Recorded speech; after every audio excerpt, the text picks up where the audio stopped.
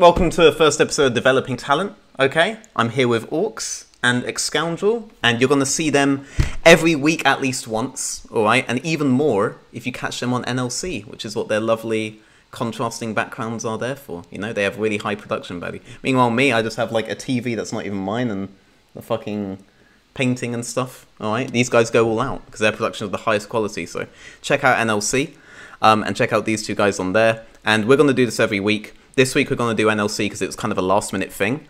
Um, and uh, because it's a last minute thing, whereas I have watched the VODs, I did rush watch the VODs. So I am actually going to rely on Aux a lot more for this than I will on the other weeks, guys. So don't expect giga monologues like I normally will. But in next week's, we'll do French League, we'll do Spanish League, we'll do German League. I'll probably do a vote on Twitter after this show for you guys to say which league we do next. Um, and I'll try to get a guest for those. But these two will still be there. We'll just have like a fourth one as a guest. Um, and we're basically going to do this weekly, and I'm thinking of maybe expanding it to NA in the off season, or maybe even earlier than that at some point. Um, but yeah, so this is the first episode. Excoundrel's main job is to make sure that I don't keep ranting, which is something he's currently failing to do because this sentence just will not stop, and I will veteran, never stop. Veteran. Let, there let's get on to the first point, hey? There let's you go. The point. There you go. There you go. All right, cool. So. What, what, you you go first. You go first. No, I, I, I was going to say so. Veteran, like obviously we've had two weeks in the NLC so far. Yeah. Um, there's been some interesting games, I'd say. but out of the outset, from the games that you've watched, which team do you think is the best? Which team do you think has come in as the best team overall? As the best team overall. So the so the immediate thing that I always look at when I'm looking at the ERLs, unless there's some sort of jungle support geo that I think is just controlling the map in a way no one else is going to be able to compete with, then the immediate thing that I look at is early game systems and team fighting. Um, and in early game systems, that's easier to fix than team fighting ever will be, right? Mm. Um, the best team fighting team right now in the NLC, uh, in my opinion, is Fnatic Rising.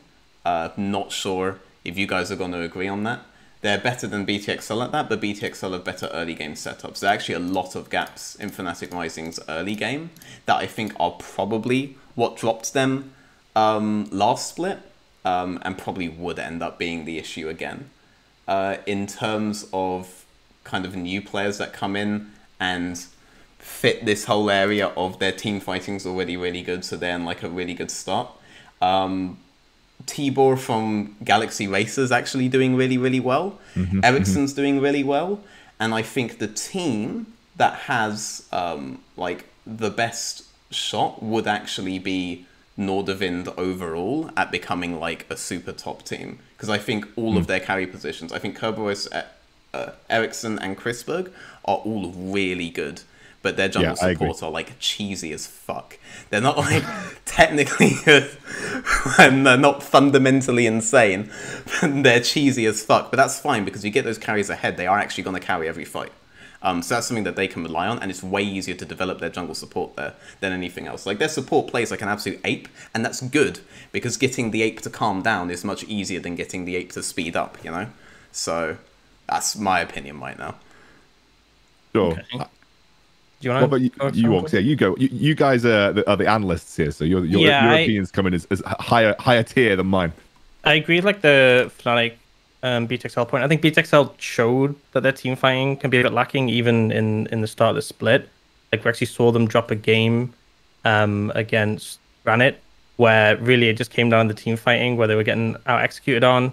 And I feel like there's a lot of teams in the league who sort of like focus in on that team fighting aspect. I think that BTXL tend to be a team who play more for the skirmishes and for that early uh, momentum. I think that jungle support duo is decent, but I, I'd agree. I don't think it's like dominate the entire map level. Um, interesting on the Nordavind one. I think Nordavind, like, I was watching their games. I don't think there's, I don't think there's like a ton to go on based on their games because I feel like, you know, they, a couple of the, like one of their games. I feel like Galaxy Race had a really a bit of an int draft. I think two of their games were against like lower ranked teams.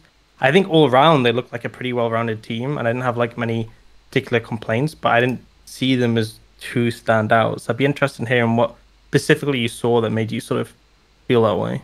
I mean, it feels to me like when they end up in team fights, um, particularly on Chrisberg's side, I think Chrisberg always understands the windows in which he can play to his absolute limits. Like he's doing things from the AD carry role that I think most AD carries aren't attempting to do, and most AD carries will kind of sit back and wait for a more guaranteed opportunity to go in.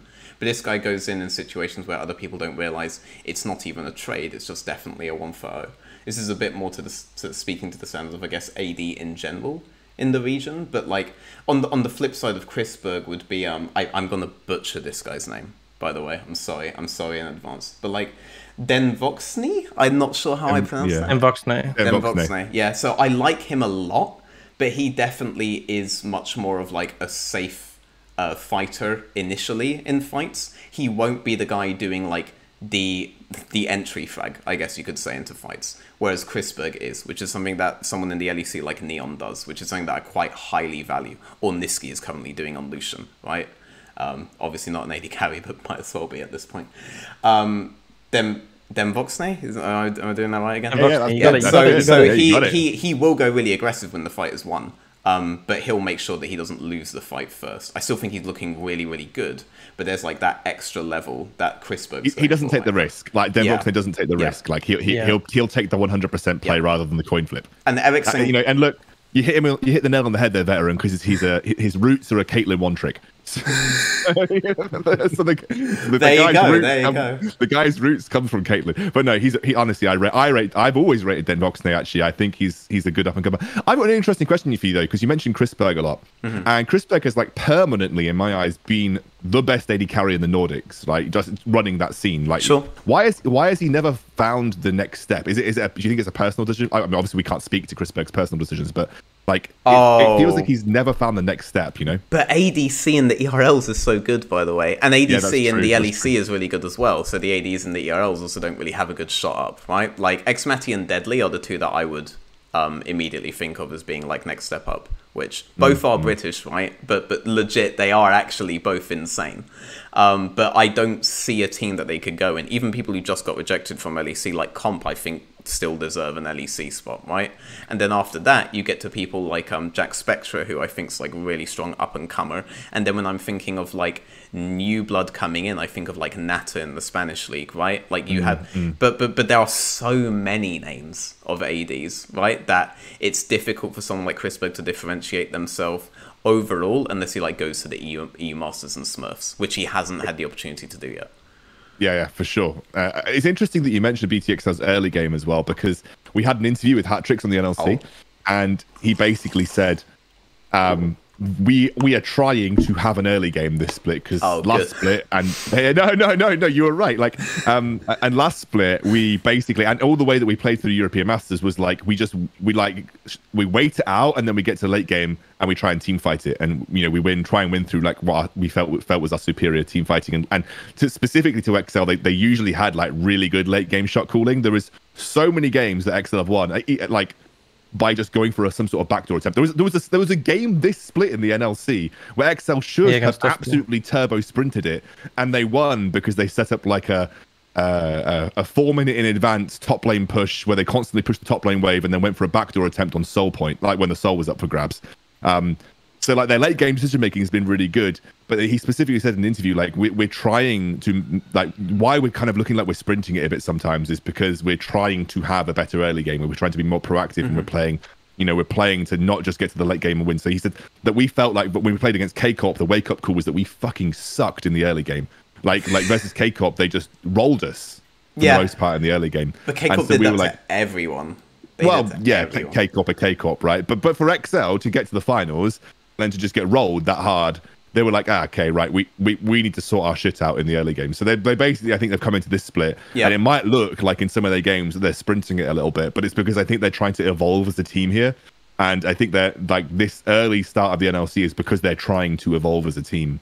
Um, and not just rely on their late game decision making and their late game team fighting to actually get those wins, which is I think what they were kind of relying on a little bit last time. That explains a couple of things then, because Markoon's being a lot more proactive now than he was before. Um, and Markoon was, for me, a guy who got a lot of hype from players who played with him in solo queue, right? But when it came to competitive, I never really saw anything that impressive from him. Particularly when it came to his early pathing. there were a lot of holes. There are a lot less holes now.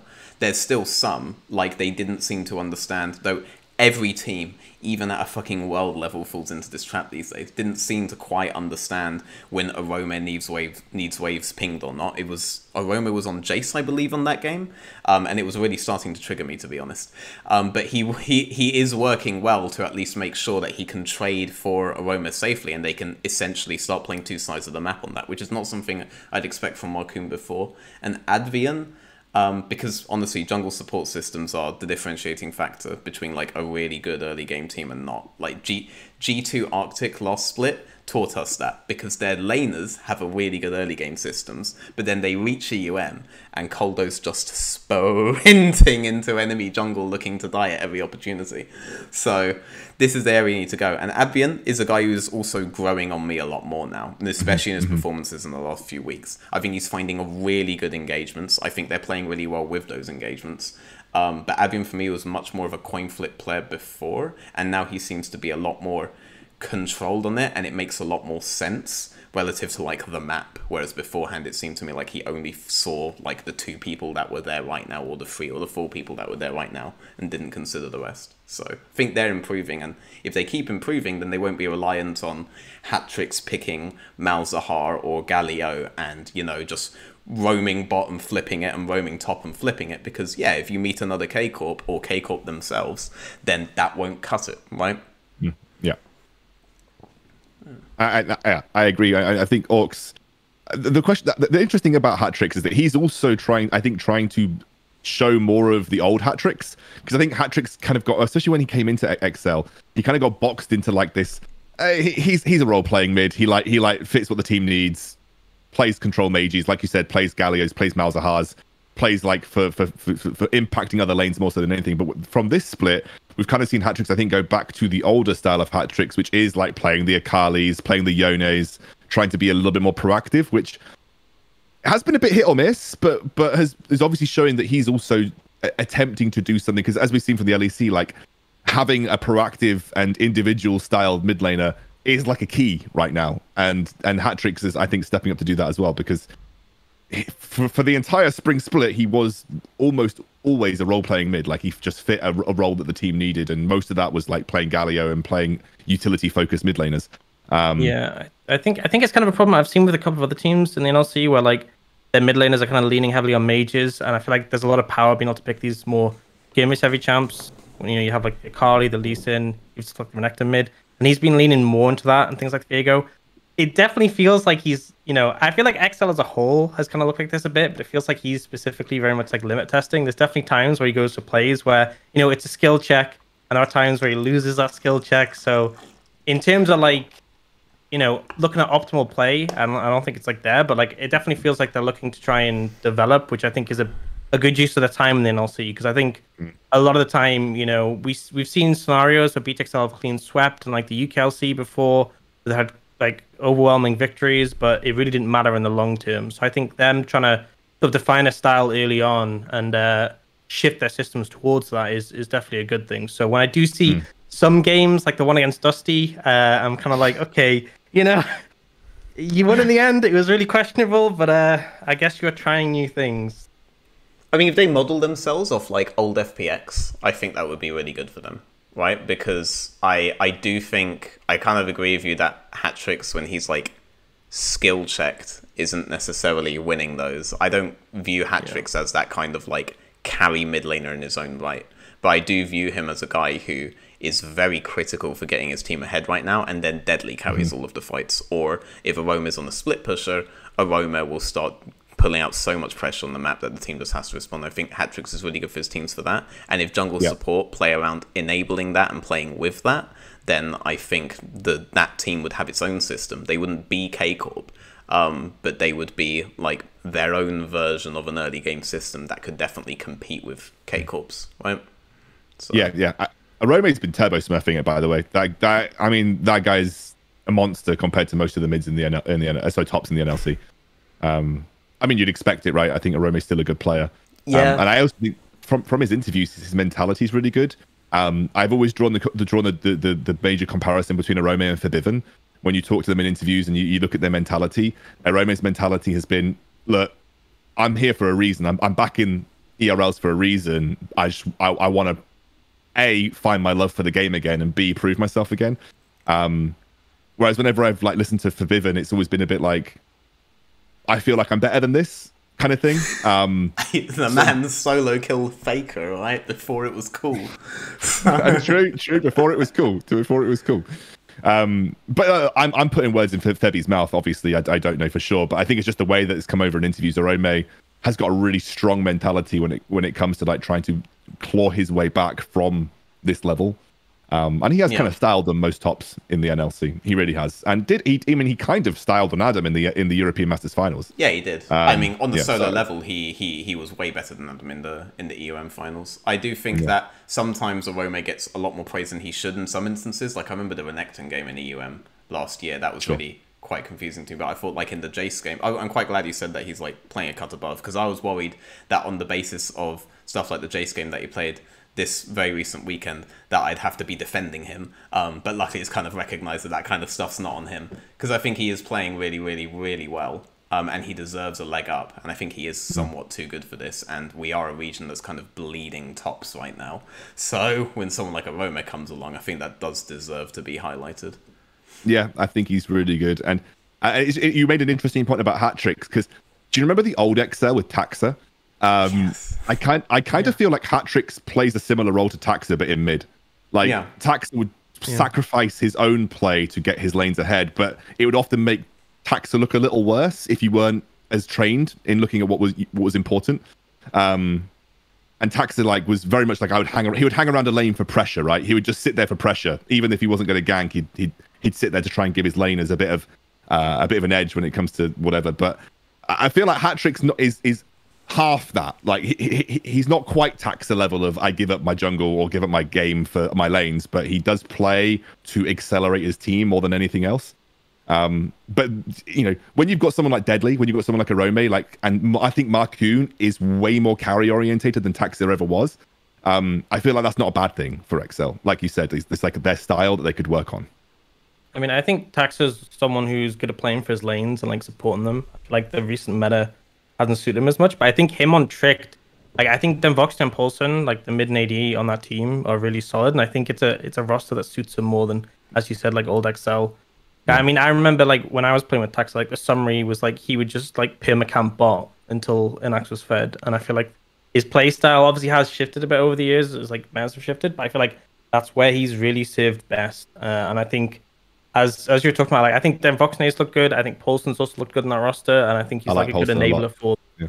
I I actually think on on on tricks, the guy that I was the guy that I was really focusing on on tricked was uh, was Madly. Um, first, I thought that Taxa understood when he had a particular win condition he had to go for over and over again really well. But I thought that Madly was so phenomenal whenever he came in on team fights um, that I really wish they would just fix his resets so that he's actually there at the start of them because there were so many fights where he'd come in and do something decisive, but the whole situation would probably have been avoided if they made sure that they played with him more towards the start of it. But very often, this guy's resets were just off compared to the rest of his team, and it didn't feel like they were all on the right page. But if that team starts playing as five, I think that they start performing like so much better, to be honest.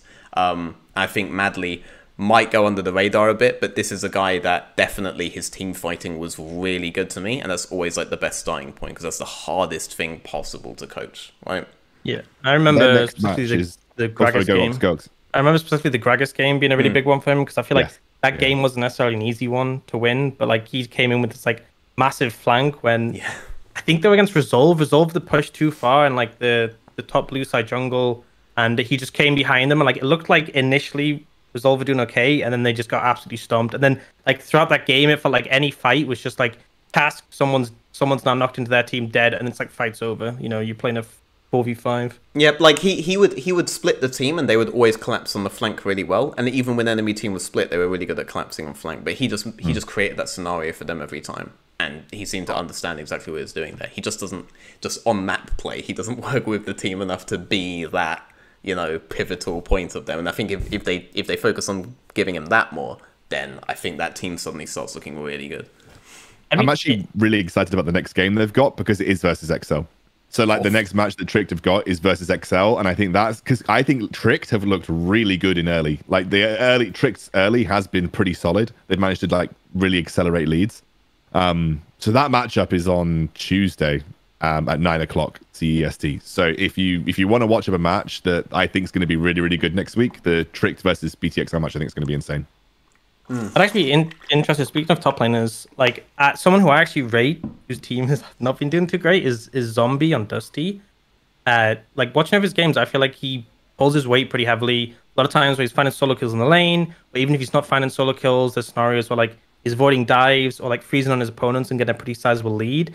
But like the main thing is like even in team fights, even though this is you know on Dusty who have lost every game so far, although they had that close one against XL, it felt like in team fights he had a role to do, and like every time he was like on top of that role. Like I remember that game against Tricked. Like, even though they lost the game, every team fight he was just smashing Paulson's head into the ground, and it felt like a really consistent thing. I think as Paulson was on Lucian, Paulson was pretty fed. Pretty sure he had Gale Force as well, and this set would just smash his face in the ground every fight. Even like they lose the fight, and you just see Zombie running away, and it's like okay, three kills for Tricked, but Zombie managed to basically solo kill Paulson. So I actually really rate him, and it's you know a bit tragic that they're currently zero. I think they're zero four at the moment.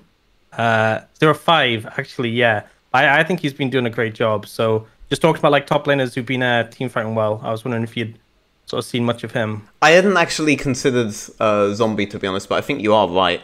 Um, but I can't really comment too much because honestly, his game, I'm drawing a, a, blank on a lot of his individual stuff. I, I think of M Test more when I think of Dusty, because um, I thought M Test was at least doing fine uh, in their games, but it wasn't anything like super notable. The team is kind of in the dumps right now.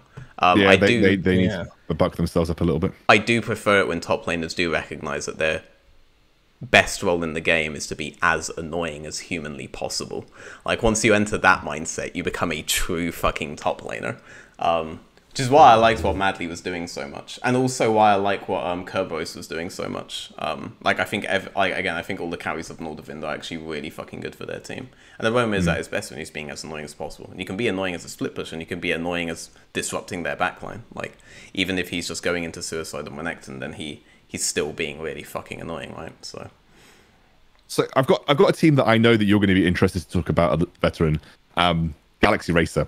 Oh, um, yeah, so I'm gonna I'm gonna set the scene, okay? Summer 2019, vet, European Masters. Veterans sold me a name. Um, that name wasn't Monk, wasn't Wendelboy, wasn't Tibor, it wasn't Kakan, it was Jakey. Um, Monk sold me Jakey as the next up and coming jungler. Um, and I actually think he had a good European Masters 2019. By the mm. way, I think his his team kind of sprinted it a little bit, but he, as an individual jungler, looked pretty solid. Mm. Galaxy Racer are an interesting team because I think Jakey's been okay, but I really think the talking point for me has been Tibor. I I think Tibor has been a re. I've, I've actually, and I might be completely. I've never heard of this guy before. Before he came to NLC, I don't know what his history is. I'm sure you might have a bit more insight there, veteran. Um, but he's really impressed me on Galaxy Racer, and actually the team is looking like borderline, con- you know, competing for top four right now. Like I think this is a team that, if again, if they get it right, they'll really get it right. So okay, so all right, there, there are there are like two kind of three things you asked me there. All right, so the the the first thing I, I, I want to clarify. Like so I'm going to go for it. the first thing I want to clarify is I'm really high on Jakey for the same reason I was really high on Cinkrof. And the aspects that I criticize Cinkrof uh, for, um, which people at like my Discord parties and stuff will remember, is that once we get past the early game and the early to mid transition phase, you get to the point where we start having to team fight, and more often than not, Cinkrof will like mis mischaracterize if, if it was a good time to go in or not and he'll just drop all his HP before the fight's even really being allowed to occur or something. This would happen with him, this could even happen with Targamas sometimes. The things that were really good about them was their control of early game. The thing that gets people's heads turning is when you do just start dominating all of these fights, which Cinkrof wasn't ever really going to do, even though I think he's like the most vital part of K Corp and the reason why even Excel would have to say like that they ended up losing the finals, or him and Xmatty.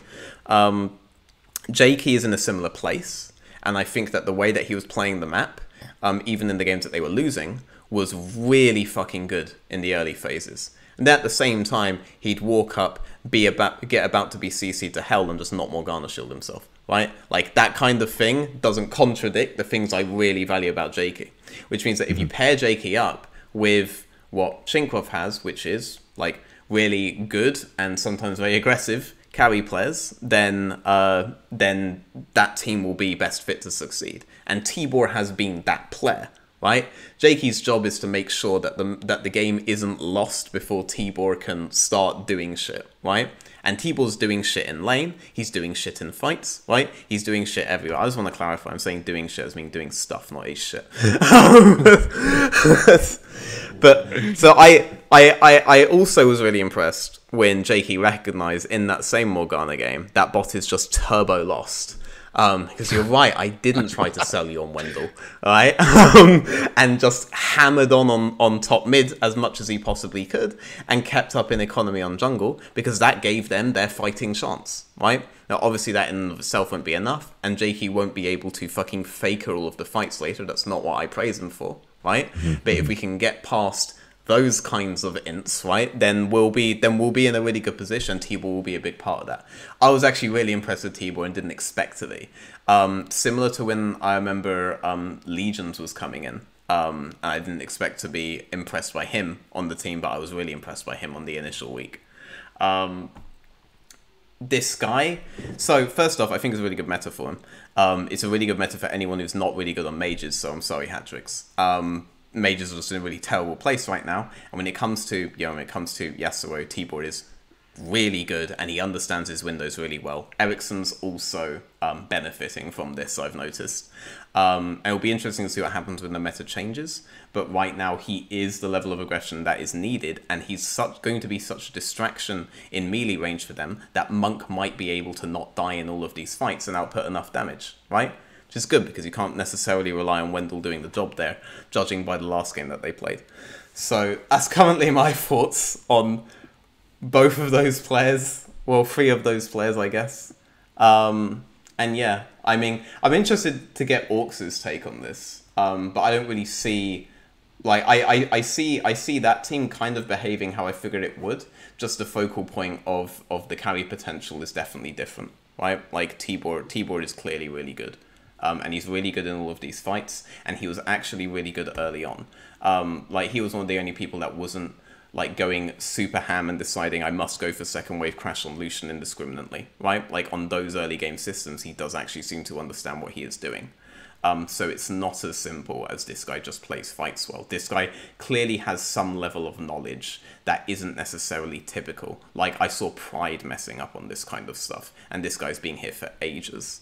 So I I have high hopes for Tibor even when we get past this meta because those systems matter so much more when we get to other metas other than the one we're on now. Yeah, I mean, I, I agree. I, I think Tibor's looked good, and I think again, it, it hasn't just been the sort of team fight, and I think Jakey has facilitated him well, but I think it's, it's just kind of, I feel like it's hard to sort of, um, because when you have these good early game systems in place, it's kind of hard because bot lane has just been such a. Yeah, I mean, the, it's it's so things are things think the things that are going wrong in bot lane are positioning based. Um, these guys aren't playing with each other enough, and they're giving too many windows for their opponents to be able to get in. Um, and oddly enough, it's not Monk completely sprinting it on all of these ones either. I don't want to go like full ham of Flame Wendell, but like I could like I could I could also throw some Flame on Prosper because I actually had to sit through that Karma game. All right, so if I had to Oh sit my- through that, you have to sit through my memory. Oh, of that. no, no, All right? I, no. I remember writing down. Oh, I remember writing down. Um, what's it called? Yeah, Prosper's the worst level one in the entire league. Jesus. Like, I remember there was like three games out of four. Like they just got engaged on bot lane, and he either died or he burnt summoners. And I'm just like, what is going Oh mate, on? that Thresh, honestly, that Thresh into Leona game. The- yeah, there's that one. There's the karma one. I'm pretty sure there was another karma one, and it's just like, okay, guys, let's. Tr-. I mean, it's amazing that they still managed to Okay, win there the were- games, but the- like, we. Go, Yeah, go, on, go on. go on. I, I mean, there were Uh, two really, really tense moments, okay, in NLC last weekend, all right? And one was when Monk was walking past Drake Pit like three times with sharpened. Um, oh, fuck, I'm sorry, I'm so bad. With Oh, is that where he was just walking- walking touch. back and yes, forth? Yes, yes, Yeah, that yeah. was so tense. And the next one was when I realised Prosphere thinks that standing over here is a good idea. It's like, oh my god, there has to be a plan here. Those were the two most tense moments. That's another link between Galaxy Racer and Prosphere, other than the ending support aspect of it. a lot of lot of limit testing. I also thought the the great moment for me was that um the early two v two between Galaxy Race and Fnatic. But like Monk just like rocket jumped in the melee range of Leona, trying to take the fight, and he, he lived. Yeah. he actually lived it. He managed to get out, but then and The then Nautilus. you see Wendell just like running under tower, like I'm committing, I'm I'm I'm getting this kill or I'm dying trying. I mean, there's been a lot of limit testing, so you know. You guys are an entertaining bot lane. Uh, Alright? But, like, well, but but imagine if it works. Imagine if they just keep going for this stuff and eventually they, they've just downloaded all of their limits and it just works, right? Then they have that and they have T-Ball and they have Jakey, right? And their top laner is doing fine, right? And he, they're even able to play around him when things go on fire on the other side. We know that now. That guy's being practiced on this right now. Like, it could be a good team. Plus, may- maybe I mean we saw it. Do you remember Misfits against T1 years ago? Like maybe when you're against a really good team, you just coin flip at level two, and if it works, maybe you win. If it fails, well, you know, maybe it was doomed anyway. Hey, the- that, that The more so I strategy. the more I watch Hans Sama, the more I'm convinced that everything there was just perfectly calculated. this guy is just way too good now at knowing when to be aggressive. So, I and think eventually one, one Monk will person get we've there. kind of, I think one person we've kind of glossed over in Galaxy Racer is Kakan. Yeah. Um, I, I actually think he's like Kakan hasn't really played the same meta as everyone else in the top lane. He's still, still kind of stuck in tank duty meta. Um, but he has played that role well for Galaxy Racer. Um, he's held his own. He had, he had a really good moment where he okay. Who was it where they tower dived and got he double killed them on bloody Ornn early game? Um, that was Oh, last I- week I remember that. but I can't remember who it was who dived him. they, the, the people who dived in were inting the hell out of it. But but like Kakan's been a relatively decent you know tank role player for Galaxy Racer. Um, and I think with the volatility of the rest of the map, it's it is quite nice to have someone that is stable like Kakan. To be honest with you, It It is. was Kova. It was Kova who attempted it. It was Simply and Tatui who attempted the the dive yeah, yeah, yeah, yeah. against Khan. I mean, I I just need to see more games from him, right? Mm-hmm. Um, like for with a lot of these players, it's gonna be that. Um, but right now, what I've seen doesn't make me write him off, and what I've seen actually makes me feel like he could be good.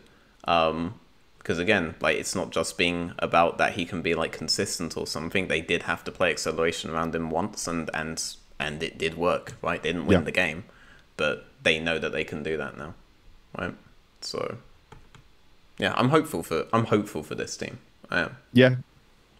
If if, if bot lane can keep it together, I think the mid jungle. I think the mid jungle is really strong. I think hmm. Jakey and, and T is really strong. Even though, as you said, it's not massively about mid jungle right now. It's more about support jungle. But I think Jakey and T are really good players, and I think Kakan's solid and consistent. It's just keeping that because because Monk is either insane. Like he's had some games where he is like single handedly turbo smurfed it, and then there is some games where they've kind of sprinted it.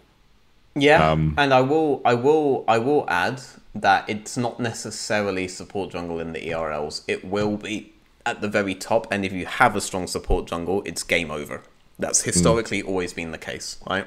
Um, but I think they can get away without their support jungle playing map insanely. I think if Wendelbo and Monk just get past their two v two issues, I think already this team is competing to to go to EU Masters. They need I to do the extra thing to win it, right? Which is we're talking about Galaxy Racer EU winning EU Masters now. We're way far off in the future. Let's maybe not. Let's go baby steps, right? Let's go baby steps. They got to win the NLC first, or at least get to finals. Yeah. Um. Oh, all right. I, I kind of want to revisit Nordavind though, because that's a team that you seemed really hyped on, and it's a team that's outside of those academy teams. I will. We will talk about Fnatic a little later on, by the way. Um. But Nordavind is something that you know, as you mentioned, is I think I think I've always said, and I've said it quite a lot on broadcast. I think Nordavind is the best possible team outside of the two academy teams that has the chance to win the NLC. Um, Okay, good. because they Ericsson is good, Chrisberg is consistently good. I mean, as you said, AD carry is an incredibly competitive role in the EU, but Chrisberg's definitely in the mix at one of the top ends. I, I've loved Kerberos ever since I started casting him years ago. Um, he's he's definitely a, a more and I, I like how aggressive and how like willing to take like one v one and skill checks in top lane, which you don't usually see from a lot of top laners. Um, And win a and lot as you mentioned, yeah, It's like Wendell okay, is willing to take skill checks. So yeah, yeah. uh, I don't. I. I mean, I, I think the the commentary that we've had on touch, or the commentary that we've, we've kind of had from touch, is when he's not playing Alistar, he's kind of sprinting it a little bit. Um, but I don't. I'm not, you know, skilled enough to like know the ins and outs of what makes a good support right now. Uh, and sharps look decent to me, but of course, like you mentioned, that that's those are two. The two are maybe the the, the, the two areas that if they improved would really accelerate Yeah. this roster. I think for me, just to comment on touch, I think like when he first joined the league, I was pretty underwhelmed, and I feel like even when he was on Alistar, there's some games where I was like, kind of, I just feel like he, they- they're, like missing stuff mechanically, some overaggressive gauges. I think he's improved a lot over that time. Like, uh, I I think that there's a there's a lot less scenarios where he's just like making kind of big mistakes. And I feel like it's kind of because originally he was on like their academy team and then he got bumped up. And I think like maybe it was just like an initial thing. But there was definitely a period of time where I agree, like there was a lot of int from him. But I think he's sort of like merged better with the team and he's not hmm. sort of making those same question mark plays. I think a lot of as it much. is also that they're kind of comping around this guy's going to go in. These guys aren't playing like low mobility champions anymore. And It's like guy- Hylissang. Yes, that that's actually a good comparison, by the way. Like his Leona game was legit just full fucking Hylissang. Like I see them, I'm pretty sure you guys are vaguely on my screen somewhere. I'm going in, right? So I don't. Oh, when it when it when it comes to Alistar, Alistar's just not in that good a place right now. Um, so I put a lot of stuff on that, but I think this guy's tendencies on a peak Alistar would probably serve better on an Alistar because you have other ways around that kind of a discrepancy with your teammates, right? If you're not playing perfectly parallel with them on Alistar, that's fine. You have ways to get that guy into your team, right? You have way, you have more ways to lock them in for a longer period of time than you do with Leona. Obviously, you can combo stuff on Leona to, to, to stun them for fucking ever, but there's there's a limit to that. Whereas with Alistar, there isn't really a limit to that. Um, I think the biggest thing about Sharp is I still think this guy just kind of falls into modes and doesn't see the map in a complete way. Like I, I, I still think there there are times where this guy's just clearing when there are quite obvious options on the map that would be better for him to do at that point. And there are times where he does see the obvious uh, stuff on the map, but it feels like he kind of like arbitrarily switches these modes. And it kind of depends on, I'm not quite sure it depends on maybe if his teammates point out something or not. Um, I do wonder when I see stuff like them waiting for Monk for fucking ever, right? If that was Touch saying, I think we can make a pick here, and them all inning on making that pick, right? Because that right there is them trying to make a play, but not necessarily being efficient in other things. Is there really nothing better to do here? Like, it's that that that that kind of thing is is weird. But when you have carries that play to the effectiveness that Ericsson, Chrisberg, and even Kerberos have been doing, that kind of thing can be fine because you can just snowball games off of those kinds of picks. You know. What, what what does Nordavind need to do to like level up then? Like if you were if Nordavind were going to beat BTXL and Fnatic, who are clearly the like let's not beat around the bush, they're clearly the two main competitors in the Yeah. entire league right now. Like what what what do you want to what does Nordavind need to do to hit that level and maybe even surpass it? Because I would even argue that some of the, the solo laners on Nordavind would probably be better than some of their counterparts on, on some of those teams. Yeah, I mean, I think I think it's a lot on Sharp's improvement more than on touches. I think touch uh, touches level can be made up for by if you are already ahead at that point. Then I honestly think you're fine with touch playing as much of an ape as he is, right? Um, so long as there there are bananas for all, it's fine. Uh, so I think a lot of it's going to be on Sharp's general improvement. He has to be able to compete with teams that are now actively trying to compete with K Corp on the early, right? If BTXL are going to have Markoon um, actually learn early game properly, that's going to be your biggest problem, right? When you get in later on, because you want to create a map where your where your players can skill check the other players, right? And you can't do that the way that Sharp's doing things right now because you watch enough VODs of Sharp and you'll realize when there are windows open, that won't be open versus other teams. So if Sharp just gets rid of that, then I think they're really, really good. I don't think Sharp's bad, by the way. I just think that right now, if we're talking about, and we are, we should be talking about this team as a team that can actually compete with the top two. um, then that that's just where he needs to fix and he needs to keep going. And he has a good attitude when it comes to that. Um, so just keep at it, and I'm pretty sure that they'll be competing with them by the end. They they have a lot of potential that roster. They really do. Well, I know you mentioned Prosphere earlier, so I do want to kind of turn it on to the UK massive singularity. Um, let's, uh, let's let's chat singularity then. Um, for me, my my standout player of singularity is is Fury. Personally, I think Fury is actually. What, what do you say? Sorry, Bethan? Shocking because he's like insane. So yeah. Yeah, yeah. Well, okay. What a revelation! I'm here for the lay perspective, mate. I'm, I'm- I'm here to be your average Groundbreaking two news. IQ viewer that goes, I like Fury because he's really bloody good. Yeah, Fury's good, and I like him. Um, but I actually also think Nulty's pretty smart. I actually used to didn't. I used to think Nulty was kind of like a eh level jungler. I- I think the more and more that I've seen Nulty, the better I, I've liked him. Um, and I think over the last maybe three splits, he's progressively got better and better as a jungler in my eyes, and what in terms of what impact him and the team have been able to have. So I, I really like Fury. Clearly, as you mentioned, he's insane. But I also think Nulty's really solid, and Dragdar is definitely an up and comer for me. I'll let Aux go first while I formulate this. Um, I think Dragdar's been pretty good. I think uh, I'd kind of like because I haven't. I don't think we've seen him on too much Kai'Sa. Like I feel like he's very like he's been playing like a couple of Ashe games, which I wasn't too sure on because I feel like it fulfilled a role in the team, but in terms of like how much value there was there, I'm not. I'm not sure. I was super sold on it. Like I feel like there's there's windows where I could feel like the team could be more aggressive and play around him playing something like Kai'Sa, but I don't think he actually plays it which is like one weakness he has. But in terms of like his overall play, particularly in mobile AD carries, he's been pretty solid, especially when, you know, someone, I don't know who, someone has been sabotaging his lane level one. um, I think Nulty's been pretty solid. I think often he's been getting the ball rolling in terms of like play on the map. Um, has I feel like they get bailed out a bit by Fury though, because there's definitely moments where Nulty will like have a strong early game, um, and you know they'll be making proactive plays, and then it's like the mid game will go a bit messy, and then it's kind of like Fury like has to one v nineteen fights essentially for them to come through. I kind of have a question mark about the top lane though, because I feel like, you know, if Prospero just stops making these mistakes and Wazel stops making these mistakes he's making topside, I feel like the team would be doing a lot better. Because I feel like sometimes they're weighed down by that, particularly coming out of the early game. But like Wazel's just like died for no reason, and Prospero's just like ended level one for no reason. And I feel like if those things don't happen, it allows them to like structure their early game a lot better, and they don't have to like bail people out when they put themselves in like these problematic situations, which honestly a lot of times are avoidable because the level ones for Prospero certainly are. There's there's moments where Wazel's like super over aggressive and like flashing in to look for like these skill checks, which is just unnecessary. I feel like for this team. So, I actually really like uh, Dragdar's Chample. Um, I actually think it's appropriate. I think Kai'Sa's really overrated right now. I think she's in a much worse place than she was before.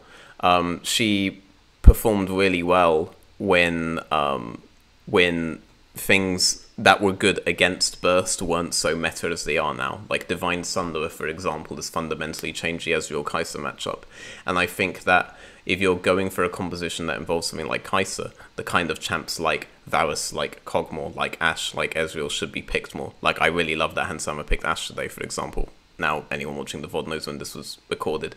Don't really view the champ pool as a problem for Dragdar. I don't view an absence of Kai'Sa as an issue.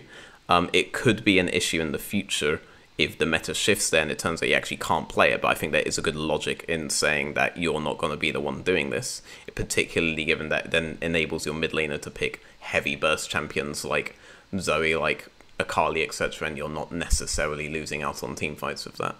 Um, I think um, so. Obviously, I think Fury is really good.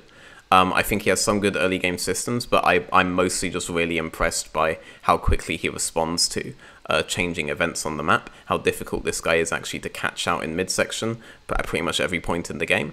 Um, and he just seems very confident in every champion that he's played so far, um, while the whole map is just going to shit. So um, I'm really heavily in his favor um, overall, but I don't think he's necessarily on the level of like Febiven, who I actually do kind of agree with Excoundrel's rolling internal monologue of Febiven. I think Febiven is, is kind of like a bit too good. Um, but he has he I, I I view him higher than I view like Ericsson and other mid laners that I've that I've praised here, right? Like if I was to do a tier list, he'd he'd he'd be like A tier. Is this where you're about to come in and say, "Budding scoundrel, I'm about to shit on Nulty"? I mean, Nolte didn't do anything at all that impressed me. Left plenty of holes open that got Wazor killed, though Wazor is playing pretty fucking badly right now. Um, the only player on that team that genuinely impressed me was was Fury. I actually think the rest of the players right now aren't doing so well. Um, I, I do I don't think that the champ pool on bot was is an issue though. That wasn't to be mistaken with me saying the AD carry is therefore really really good. Um, okay. But yeah, I mean, I think Fury's playing at an absence of everyone else there right now. As harsh as that might sound, that is honestly how it's looking. Um, do, you, so. do you think Singularity are a bit doomed then? I I mean, yeah, they looked pretty doomed to me, but I think Fury's probably going to get picked up if he keeps uh, performing like this, Although we rebuild the roster around um, Fury. I have seen Nolte do decently in the past. There's never been a split though where I thought Nolte is like insane or something. Mm, um, mm. I I I will say that like um actually we'll get onto that when you get onto their team actually so never mind. Just go go go go on go on go on. Well we've done singularity we've done tricked we've done nordavind we've done uh galaxy, galaxy racer, racer. and btxl let's go with the other kind of clearly top team before we kind of move on to some of the other ones which is fnatic rising. Yeah. Oh um, not granite? uh, we'll come to that. Uh, um, fnatic rising. Uh, a team that hasn't changed anybody. Uh I think for the most part, a very strong team through and through. Maybe some question marks on top lane. I think Pride has always had some question marks around him, though. Um, as you said, Febby clearly probably too good for NLC. Uh, however, I, I, think other mids have challenged him well. I do actually think other mids have actually challenged Febby quite well in the NLC so far. Bean and Rux, I, I think I'm hyped on Bean and Rux though. I think those that's a really good bot lane. Um, and I, I'm I'm not I'm not sure about Maxi. I'd have to get veterans' opinion on that. I, I, you know, these are, there are things in jungle that I just don't see because I'm not I'm not at that level. Um, but yeah, Fnatic Rising they, they look like the best team in the in the league right now. I think they've come from spring and have learned a few lessons and are clearly are clearly trying to have prove something this time round because they they kind of shut the bed in European Masters play-ins. They got dicked by XL in the finals. So like they they're clearly coming into NLC this split with a little bit more to prove, especially for for Febby. Mm-hmm. Um, so I want to start with you, like veteran. What, what, Fnatic Rising. What's the good parts of them? Where are the weaknesses that you see? The good parts of them are the team fighting, and the weaknesses I see are actually in the early game systems right now. Um, okay. And that's pretty across the board, um, including in bot lane, where it does. Like I, I wish I had pro view of them. Um, but for example, fuck, what was it they were playing? It was Ezreal Braum, I think they were playing on bot lane, and I I remember that just looking at the wave on bot and they had just been like hard shoving the first wave and they're looking to have to crash on second now. And you've denied basically one minion from the opponent and this this has been fucking completely useless for you in general.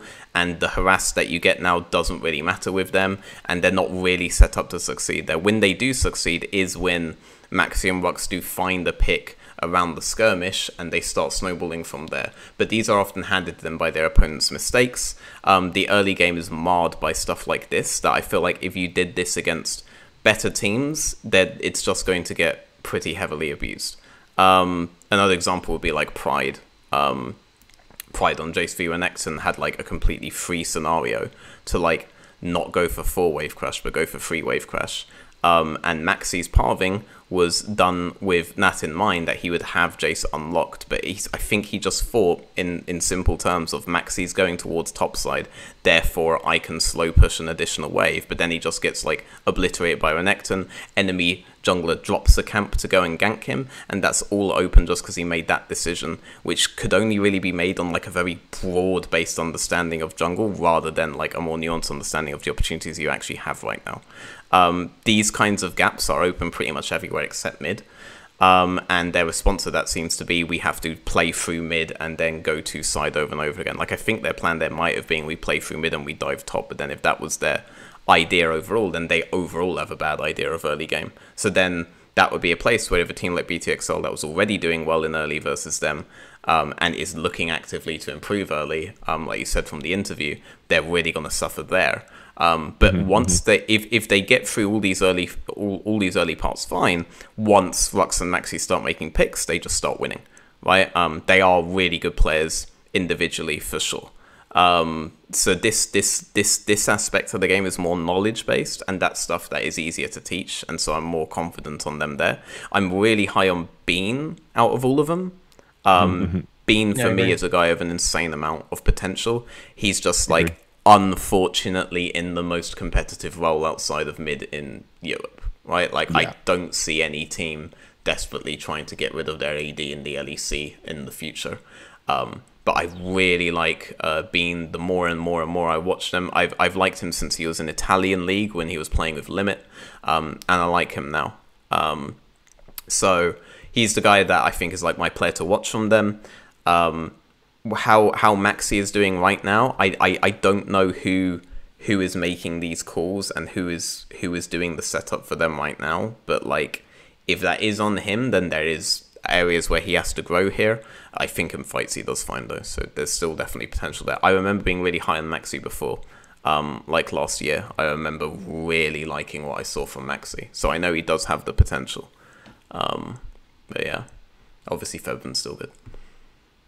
Febiven's still still good. Uh, clearly, I mean, I, as you said, he, I think he's Oh. probably a cut above most. But I I'm feel like- to hear Hawks.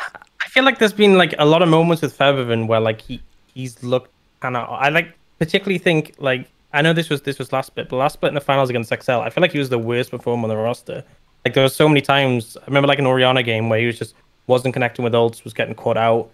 I feel like he looked better at EUM, but I haven't I haven't been hugely convinced by him. Especially, I mean, I've set standards kind of high because the expectation is you know it's Febiven, but I feel like he hasn't been the star on this roster and hasn't been at the same caliber that I'd expect. And there's been like a lot of mistakes, a lot of times where he's like dying unnecessarily or like trying to force plays and then it doesn't go successful. I feel like there's been a lot of games as well where it has come down to Bean um, really performing these team fights kind of to to get them over the finish line when they they have sort of made mistakes in the mid game. Because obviously you know we've talked about the, early game system not being infallible but there's also been times where like it's gotten to the mid game things aren't looking great and it's come down to like being really clutch in a team fight. And i think Febiven has sometimes been an aspect in, in things not going too well. Like, I, I really haven't been that impressed. So I feel like when I've seen Febiven force and it's being more of a flip, um, he's done a force in a situation where it could be really game changing right now, and the game itself has not been going well up to that point for things that weren't really in his control.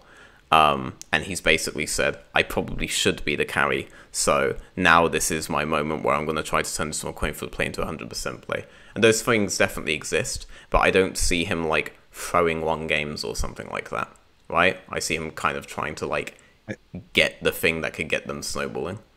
When, when I've talked to him in interviews, I've always got the impression that he he kind of feel well. It's not even got the impression. He did kind of outright tell me this last split. that he he kind of feels like he has to carry because of because it is Febby, because he's in he's in ERLs and it's Febby.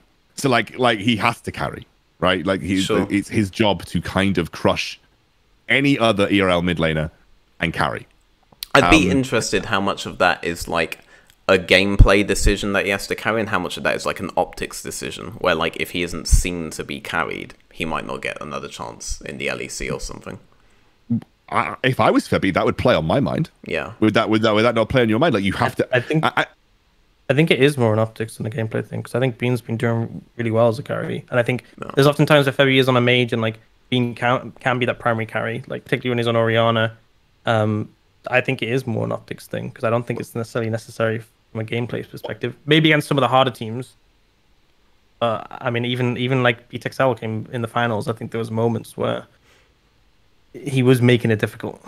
I'm hesitant to set veteran off on a on a side uh, a sideline here, but the the I I really do genuinely feel as a mid in EU, optics do matter because the people that make the decisions don't always have the level of insight to see past pure optics.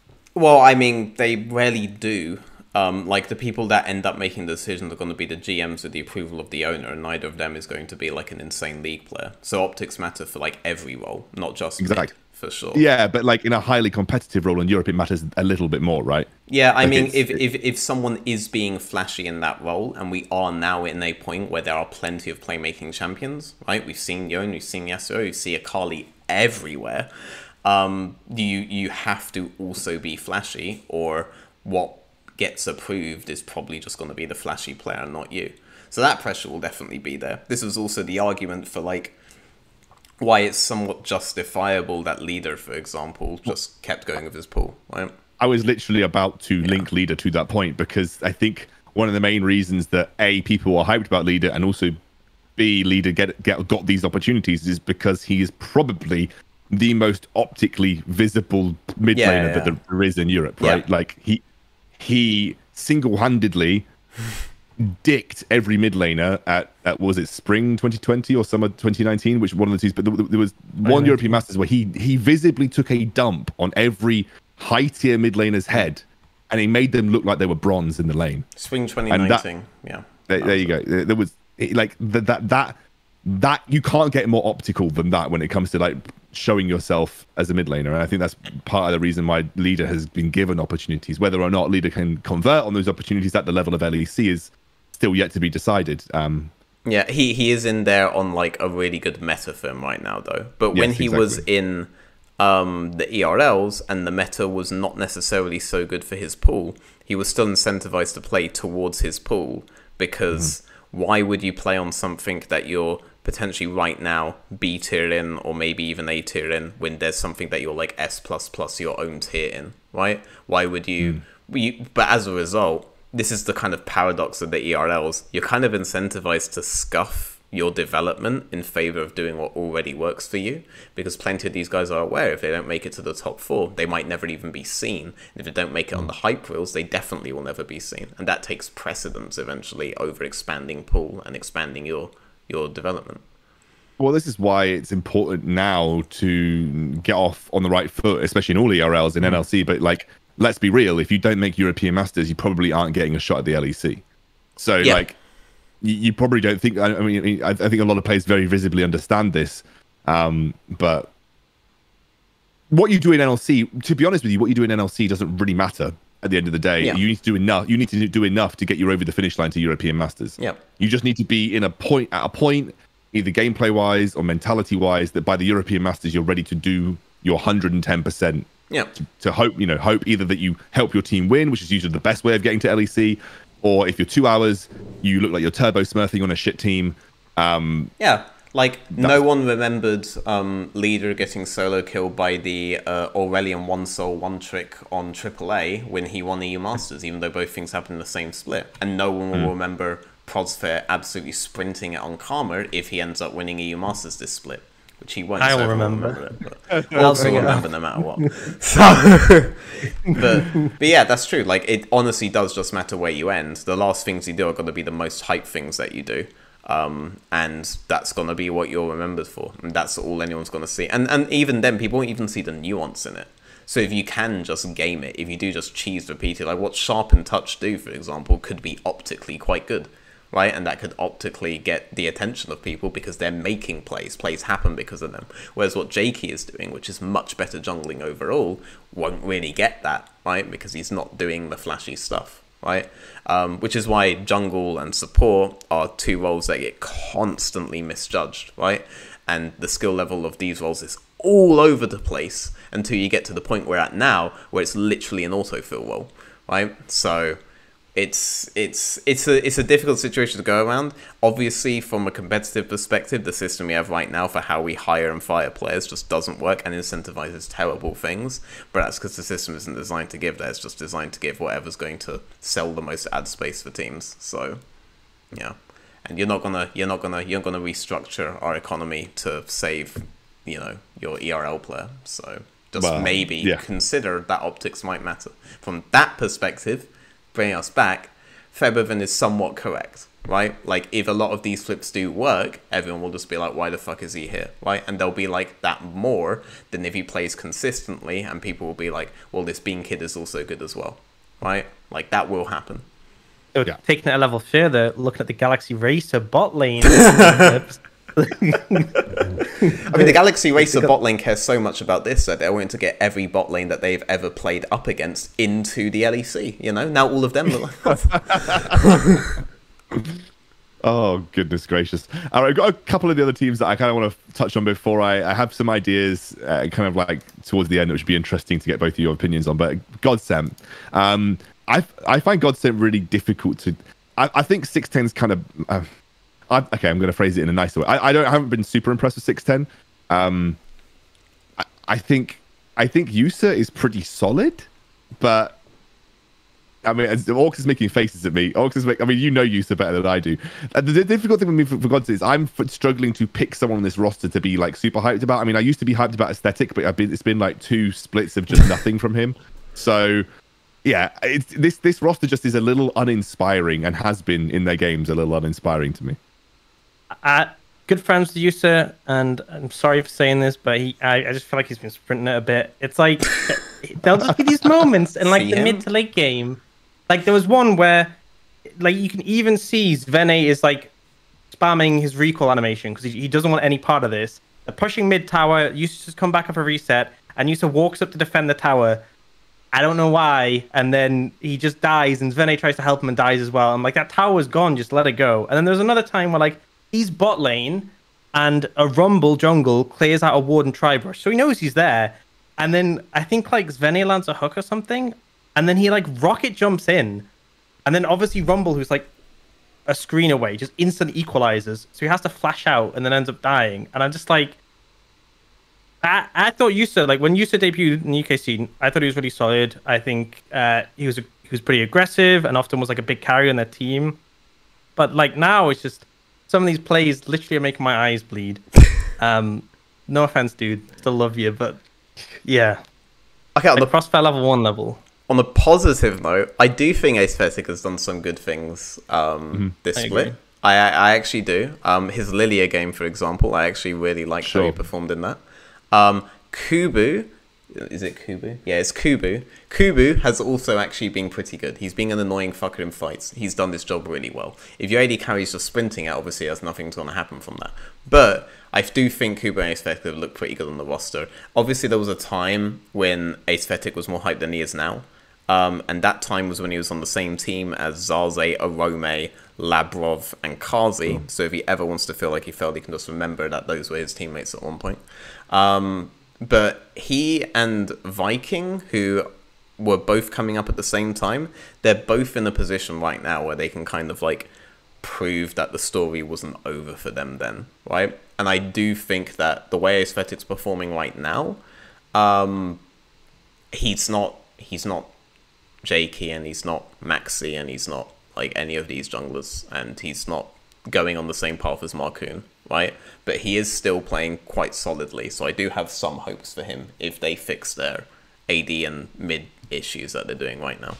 So Well, you can see that I have uh, two IQ when it comes to analyzing teams because I chose the player that both Aux and Veteran kind of shat on. So, uh, anyway, uh, but yeah, I, I think I, I think when I I remember last split when I was talking about aesthetic, I was still at that point where I was like, this guy could be a big deal. Um, but I think you mentioned like he's in the position to to, to kind of accelerate that. But on this team, I don't see it happening. Not quickly, anyway. You, you know, like it's it's one of those things where it's sometimes it's difficult to really stand out on a team that probably isn't going to stand out. Um, and so I, I I think Godsend like they they are going to be a middle to bottom of the pack team in NLC. Like that's that's going to be their role in this in this in this tournament. I don't see this team kind of competing with the top six really, and that's I, I feel harsh saying I feel harsh saying anything like that about any player realistically. But um, even with aesthetic, I I just don't see them standing out compared to the other teams that we have that are just I just think better. And I think with the limited time that we have to improve, I don't think the six or seven weeks that we've got is going to suddenly turn Godsend into a top six team, in my opinion. Sure. I, I I do think it is possible to shine on a bottom team. I do think that is possible Yeah, to do. I mean, right? I mean, two hours and Jakey were examples of that on European Masters teams, right? Yeah, for sure. Um, obviously, that they were like topping their region. I guess something that I would compare it to that I guess everyone would know this one, like Alphari on Origen, right? Tenth place team, S plus tier top, right? So obviously you can do it. Um, you may have to go for some flash, right? But you you you you can do it. So the story is not like doomed for Aesthetic or Kubu, right? Um, there's still a shot. Um, talk Granite has been. Granite's been an interesting team. Let's talk about Granite. Granite is the team that has won things that you feel like they shouldn't have won, but maybe is that is that are they maybe better than you know, we give them credit for? Um, I'm gonna. I, I, I want to let Aux do this one because he seemed quite enthusiastic about it. I'm gonna. um, I'm gonna. earlier. I, I'm. I'm pretty hyped on Babro, by the way. Even if he's a bit of a jinx one trick, I'm kind of hyped on this guy. But I'll let Aux hit me with your your spicy hits on uh, on Granite. I think Granite are better than because I think a lot of people play some like last place completely. Like I remember like seeing tier lists where it's like you have sort of the top four from last split, you didn't change their rosters. You had a lot of middle of the pack teams, and then like bang at the bottom was Granite. I think they're significantly better than that. I think their team fighting's been really strong. Uh, often they've leaned into it. I think it suits Babro as well. I don't think he's like the more aggressive AD carry role like we were sort of talking about Chrisberg, but more so similar to like Denvoxney where he will be able to clean up a fight when they've sort of come successful in it. Um, I think question mark about Wixo. I think Wix like when Wixo's been on Alistar, he's been really good. On his other picks, not as much. But like, I feel like when they the the thing that I like about them most is like their aggression when it comes to setting up the pace for team fights. Because I think I've seen a lot of teams where they have engaged tools, they have strong team fighting, and they just sit there and kind of like wait. And then the enemy team ends up engaging, they get absolutely wiped, and like they're just using all those like great engage tools just to disengage. And I feel like Granite are a team who like really set the pace with that. Wixo often on the Alistar is someone who like will look for those initiations. Uh, I also think the top laner has zero has been really solid. And again, similar to the things I said about Zombie, he kind of knows his role in a team fight and will facilitate. The big thing for me was like having Teko and originally, I feel like Teko had a sort of like it was quite a gank heavy jungler, which I don't think's too suited to this meta and the way he was doing it. It was like forcing ganks again and again. Often end up like getting punished for it, but would sometimes set his lineups for success. I think when indecision came in, it looked a lot more refined, and I feel like it was a much smoother process towards the mid game. And uh, I'm pretty sure they won won both their games when he came back in, including one against BTXL. But that, that team fighting just looked really good. And uh, I see this a lot where like it'll be a team like Fnatic or, or BTXL, which has more experience, and they'll be like positioned in a way. I think this particularly happened with Fnatic when like Febiven was in Azir last week, and like they'll be positioned in a way where like they're surrounding this team. You can see like Gwen off on the flank and stuff like that, and like Nocturne's ready to dive in, and they're just sitting there like corralled in like a bunch of sheep, and they they just need to like pull the trigger and engage. And I feel like that's not something that ever happens to Granite. Like they will start the fight on their terms. They'll have they'll use their tools effectively, and like even if the fight doesn't necessarily go favorably, at least they're like getting those abilities off. Whereas it seems some teams just like you know you'll have an Alistar who dies before he even uses a combo. Um, so yeah, I think I've, I've been really impressed with Granite, and I think they are better than we'd initially expected. I mean, their compositions have two things going for them um, that other teams don't have, except for the one game where they lost. Um, and that is that they basically outrange every single team that they've played against. Um, and this wouldn't matter if their AD wasn't actually decent at positioning. So Excoundrel's not completely 2 IQ on this. Um, and then the functions of the rest of the team is to just try to play around that. Um, their mid laner on Orianna Seraphine for a lot of that, and just play around the fact that the enemy can't really engage into them.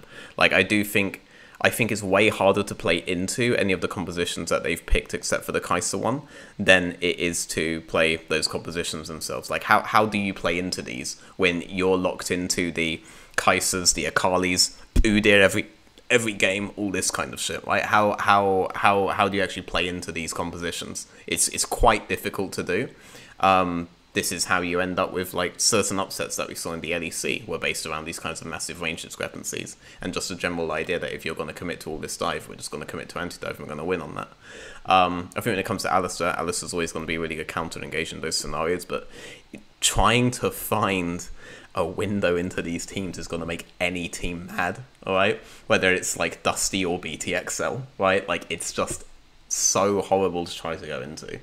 Um, but again, I think a lot of this is on the AD actually positioning well in these fights, and otherwise, I don't think you're going to be able to to actually pull these off.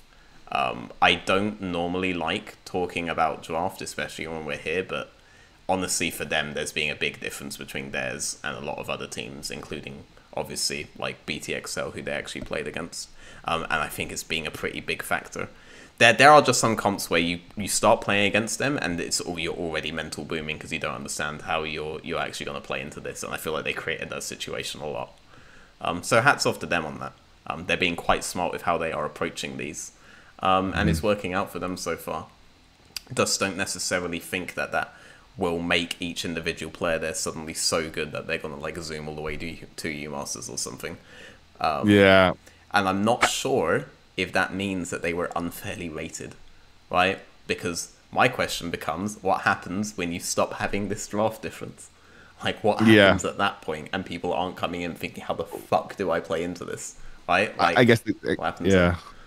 I guess the question is like, do you think the Granite has got any fundamentals right, or do you think they're just purely coming in with a little bit of? Well, from what I felt, from my perspective, it's always looked like it's been really solid late game team fighting comps where, as you said, the range advantage is in their favor, and they've just somehow stalled the game out to a point where Jinx auto Well, wins. yeah, I mean, their their their comps have really good wave clear as well. The, the Mm. okay, the thing I'm trying to say is that they don't need to find specific windows to do stuff, right? There No. not a pressure on them to find specific windows, okay? And if there isn't a pressure on you to find specific windows, you're thinking about the game in a much more lax way than any team you're playing against that's going for like the Kai'Sa compositions and the Akali every game and all of this stuff, right?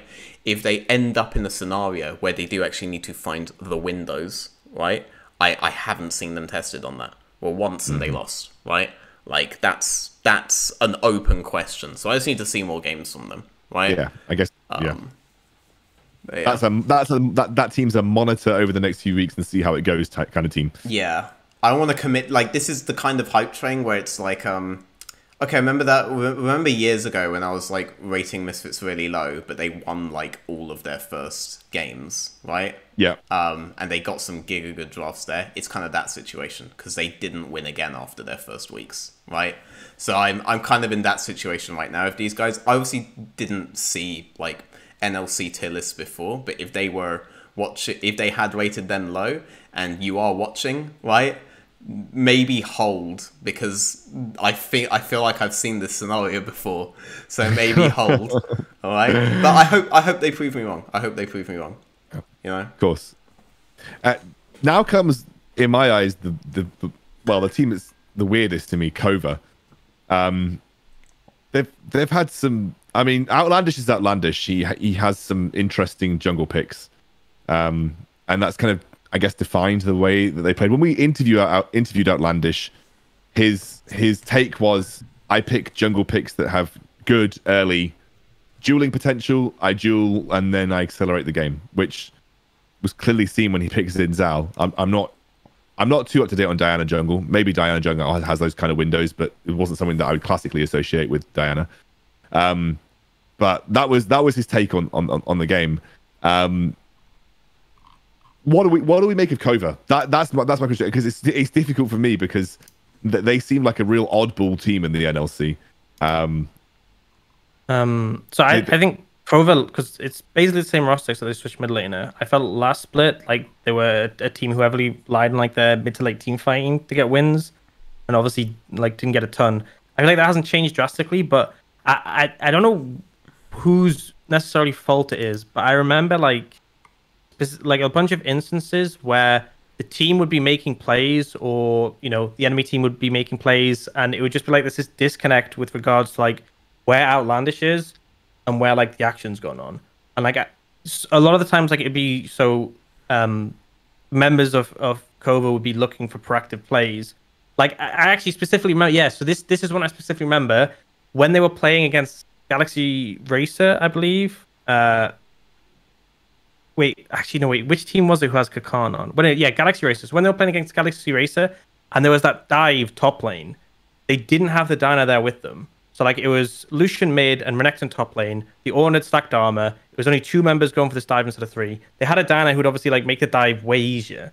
And like they're going for this play when like Diana's on like complete other side of the map.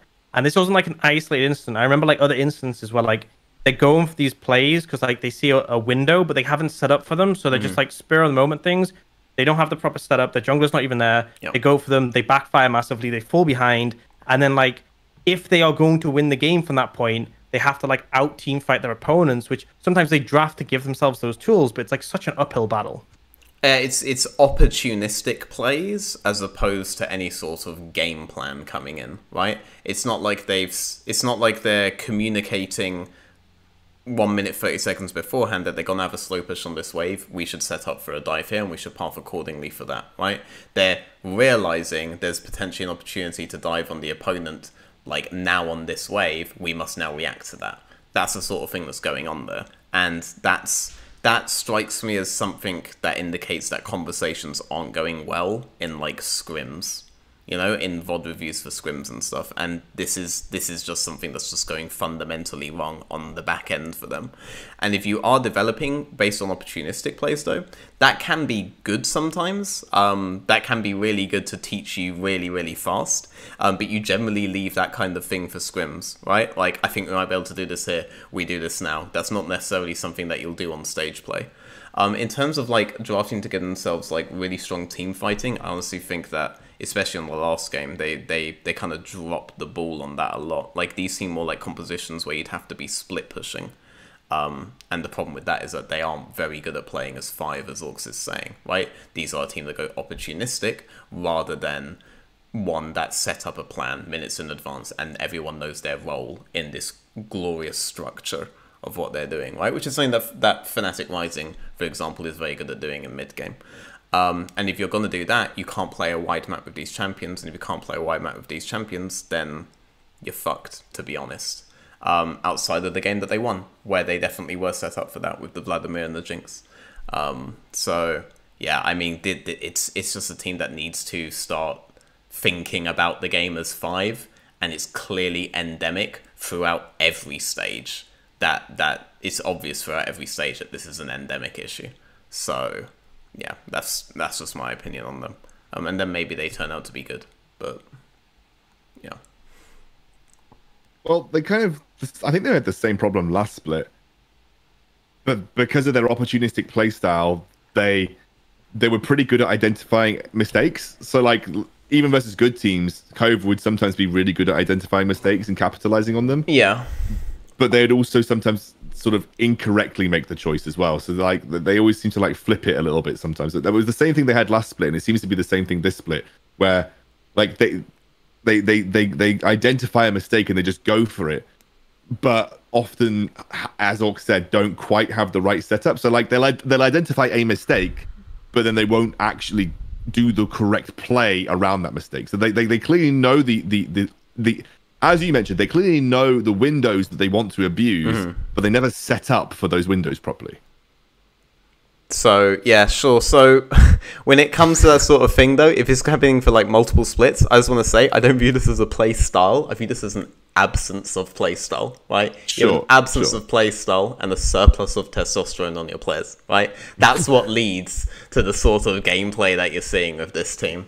Um, so I don't know. These guys, someone needs to sit these guys down on a nice team bonding session. Take them to an escape room or something, you know, and then and then maybe maybe when they leave, they'll be like, "Hang on a second, are you guys in the game when I'm playing?"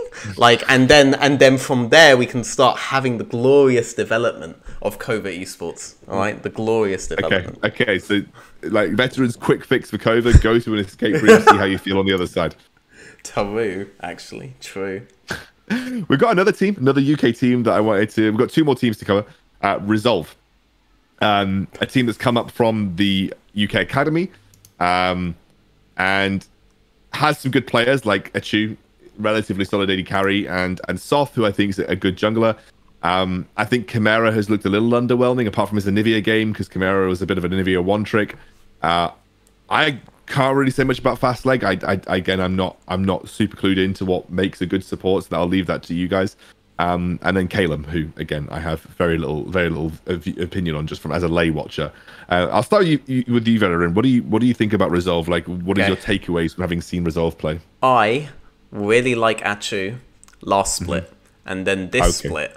Um, I've seen him overextend on a lot of plays that I don't feel like he should be overextending on, especially given that last split, I honestly did view him as somewhat of a modicum of consistency. So that was quite disappointing to me to see. But I know that this guy kind of has it there. Isn't he like, isn't he like 26 or something now, by the way? Um, I think he's quite veteran. I, love I love how we refer to old players as quite veteran. Uh, I, I think he has been around a little while. Yeah, he's been around for a exactly. while. Um, but like I always seven. He's 27. 27, Jesus. damn. As of a week ago. As of- oh, happy birthday, Achu. You're shit. Um, but I I know that he has the potential to be a lot better than he's been playing, at least in the last weekend, because the last weekend was the was the games that I watched of them. Um, and he's always going to be the player that I'm going to look at the most there. Um, Soft's not doing too badly. Um, but outside of those two, I didn't really note down um, anything on the rest. So I'm interested in what Aux has to say, and also what Aux has to say about Achu on this. Um, I don't have too much to say about Achu. I think Fastleg looked a lot better when he was on engaged supports. Uh, for the most part, I think like when he was playing Karma, he was it kind of felt like they he a lot of the fights you could tell he wanted to, like initiate them and start them, but they weren't finding the engages. I think like that was like a, a, a draft thing, and the I mean there was a lot of mistakes on this team as well. Where it was just like Chimera getting caught out or like fast like like recalling randomly for no reason as the setup for Dragon in vision and getting caught out. Um, I feel like Soft was a little bit elo held so far on the roster. I feel like every early game, like I remember against Kova, like uh, he kind of going Oh, took, took a even really early. against Excel, he kind of turbo smurfed the early game, right? Yeah, I feel like every every game he's Turbo Smith the other game. Um, I, I can't remember which I can I can't remember which game it was specifically, but I remember one like he, he completely. It felt like his earlier games were very much like you know controlling the early game, making sure it went to a pace, and then I'm pretty sure it was um against I can't remember who it was against, but there was one early game where like showed up bot, got a kill, moved around, showed up elsewhere, got a kill, and was just like completely chaining these plays together, like taking control of the map. Then there's other games where like he will be playing more for the laners and like to, to support them in that sense, like covering them uh, when they need it. But so like, I feel like he's really elo held on the roster. I feel like an issue I have with Chimera as well as his champion pool. He's only playing mages. It was great when they had that composition where like they had the Anivia because it completely countered the enemy team who had like no dashes with like Sivir Karma. It's also his one trick. Yeah, and it's it's like that that that's a great moment when you're like, oh, we got an Anivia one trick when it's a perfect pick here. For the most part, it's like he's just I haven't seen him pick anything other than these mages, and like it, yeah. it's kind of kind of a bit worrying for me. So I feel like I don't know if Chimera's just not willing to pick them or um, whether he can't, but that's a problem. I think Fastleg again put him on those engaged supports uh, and have him pair up with Sophomore because I think Soft did so much by himself, and I, th- I actually think Caleb has been pretty good as well.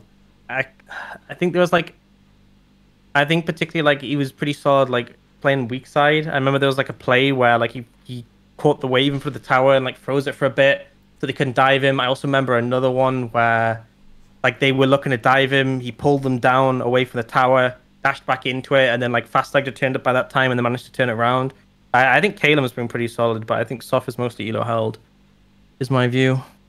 My my lay takeaway from the games that I've watched is that Soft is actually pretty good, and Yeah. he is. he often he often has the weight of his team on his shoulders going into the mid game, and then they fumble in the mid game every time. And that's not not entirely on Soft; it's on on a roster as a whole. But every every game Resolve seems to have played, the early game has actually been really good. They've actually generated decent gold leads. They've played around neutral objectives really well. Soft has been the main driver of a lot of those map plays, and then they get to the mid game where some semblance of team coordination is needed, and they run it down every time. Um, but yeah, Soft is the best player on that roster by a country mile, in my opinion.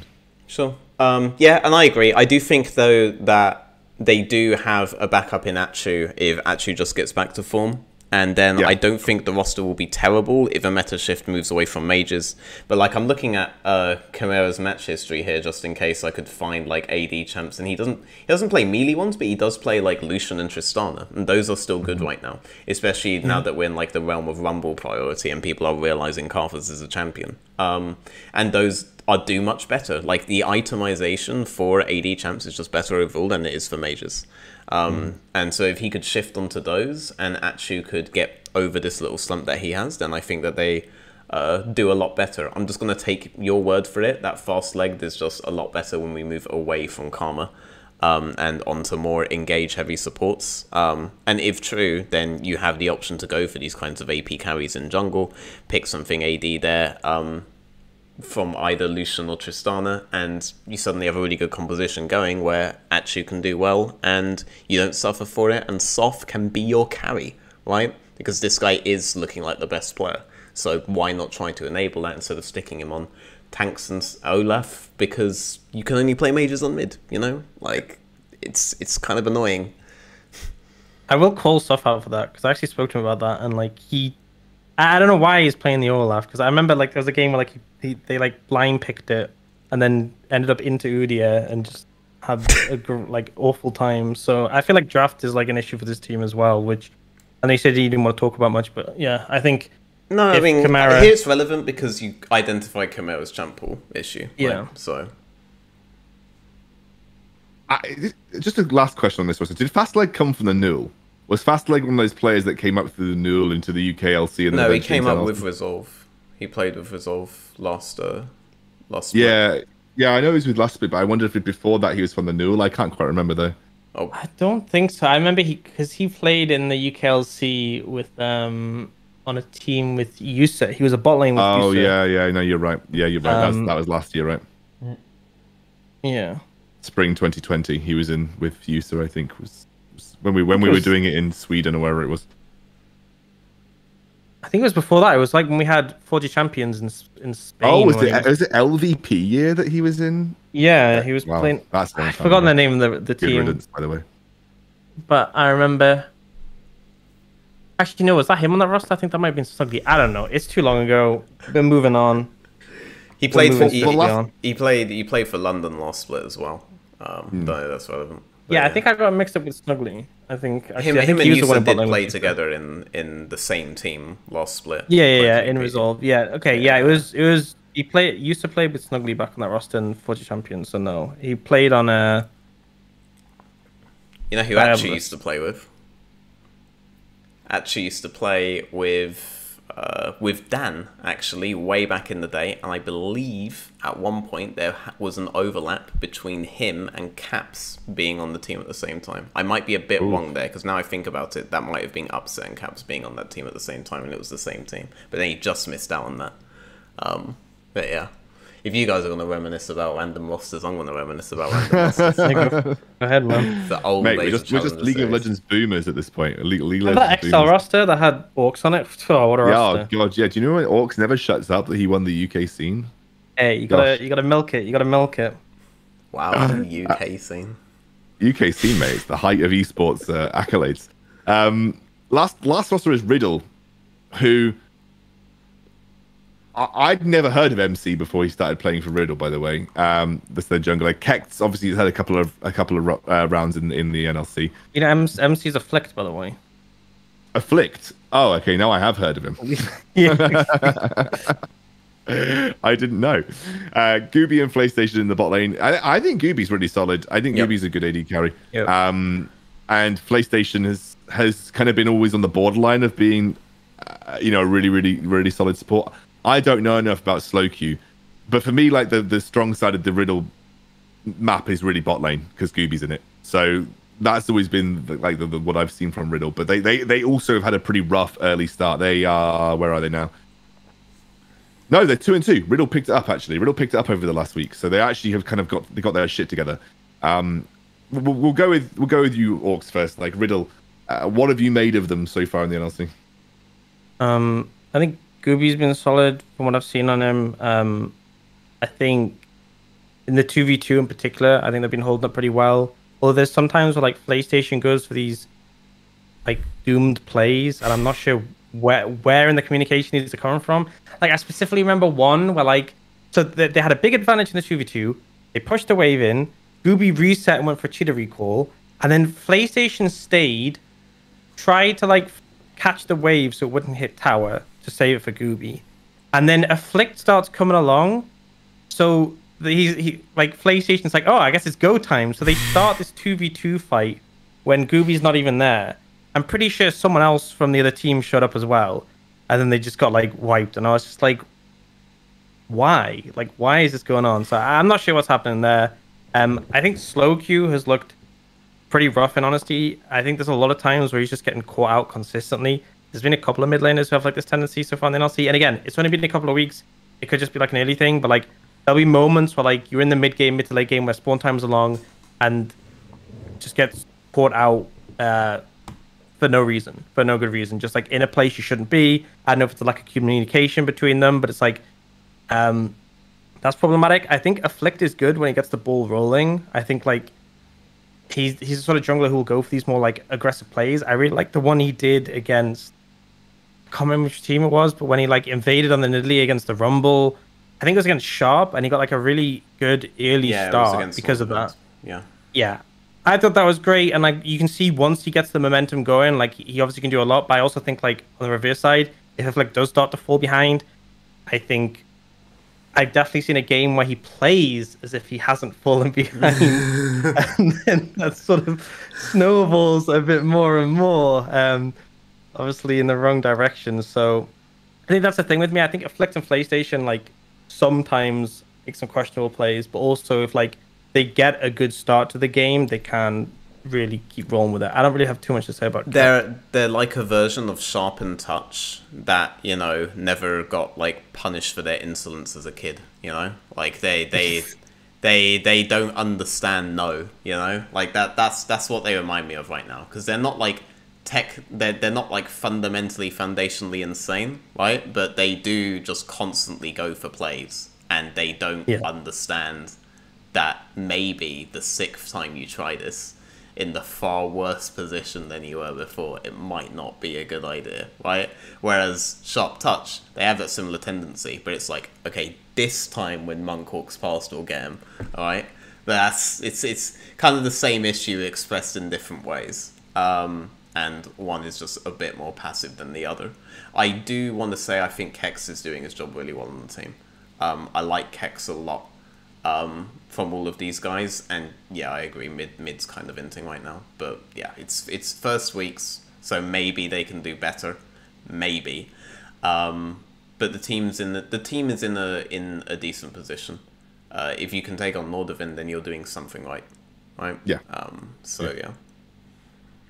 Um, so that's kind of like all the teams in the NLC. I, I thought would be a good way to kind of like round out the NLC is Mm-hmm. I, I'd like to hear, firstly, um, how you'd rank these teams from top to bottom. So if you just pick how you think they'd end up ranking wise from top to bottom, and also if you were to pick one player in each role to form your NLC super team, what that would be. One in each Um, role. Okay. Yeah. So Alright. I, I'll I'll start because my opinion literally doesn't matter for diddly shit. Um, Anytime. So top, I think I just pick Arome. I think it's like a, a sensible decision. I think Arome's the best. Wait, the are we gonna top. have like a limit, like how many players per team? Because I feel like that should probably be a thing. Like, Uh, max, okay, max of two players per team. There you go. I made that up on the spot. Max of two players from any great. individual team. So I'm going to pick Arome uh, for top. For jungle, I am going to go with. I'm having a look through all the rosters so I can remind myself. I'm going to go with Jakey. So I'm going to go Arome Jakey. You can't just seek my approval this hard, Excalibur. Alright, you no, can't. no, no. Uh, mid lane, I'm taking Febiven. Um, AD carry, I'll have. I'm I'm a toss up between Deadly and Bean, but I think I'll go Deadly. Um, and then support, I am gonna have. Oh, I think I've ruined it by going with two for Fnatic here, but let's. Support, I'll have. Pros. Uh, I, I, I, no, wait, no, wait. I'm just gonna go Rux. Screw it. I'm just gonna go Rux. No, I had one from Fnatic, so I've gone Arome, uh, Jakey, Arome, Jakey, um, Forbidden, Deadly, Rux. There you go. That's my team. Okay. who's going next? Me, you.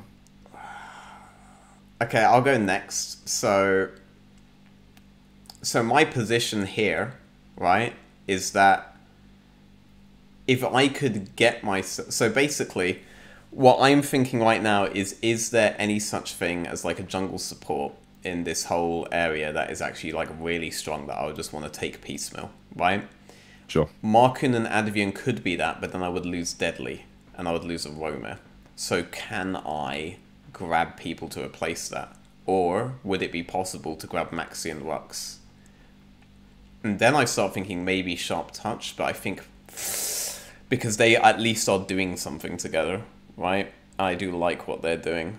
I think the best play then would be to do Maxi and Rux, which doesn't necessarily mean that I go with like Rux as the best support overall, but I think this team would have the best place. Because while Prosfair keeps performing like he does, I don't think there's any question who the best support is.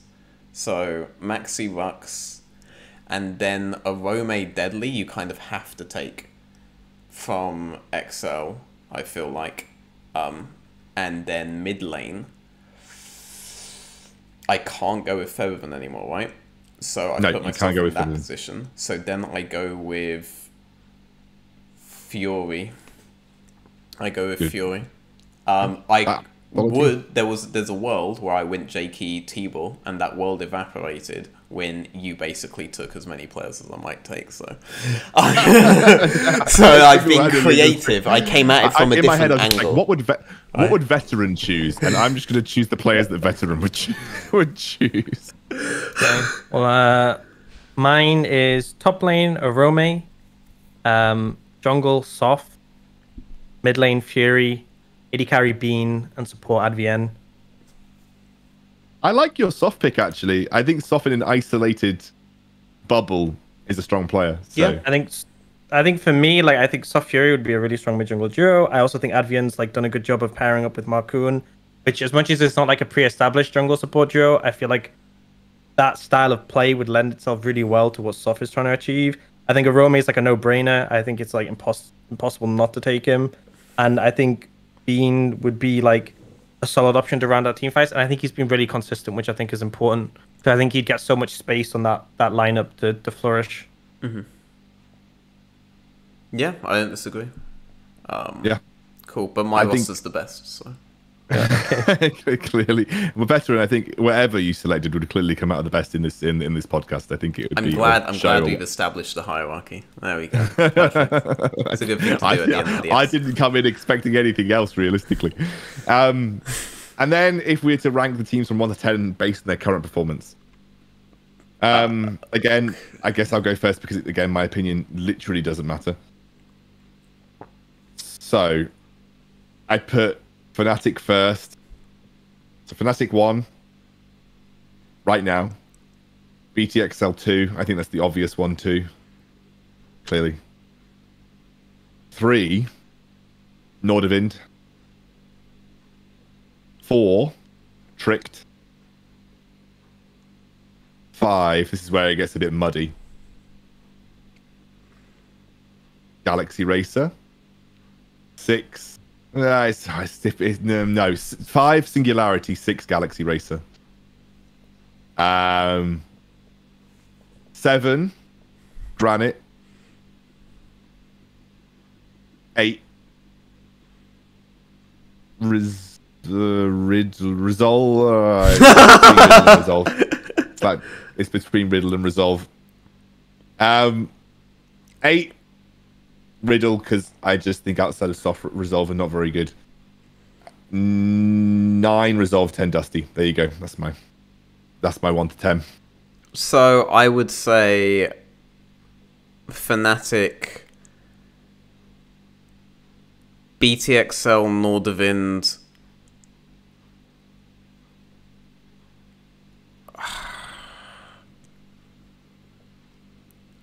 I guess I would say tricked.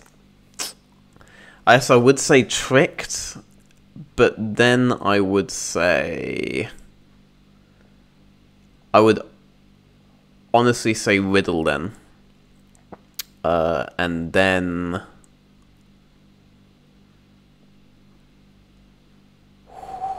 Okay, the rest all gets kind of difficult.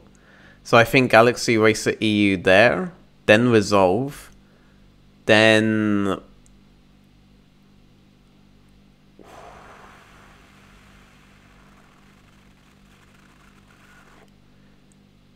Singularity.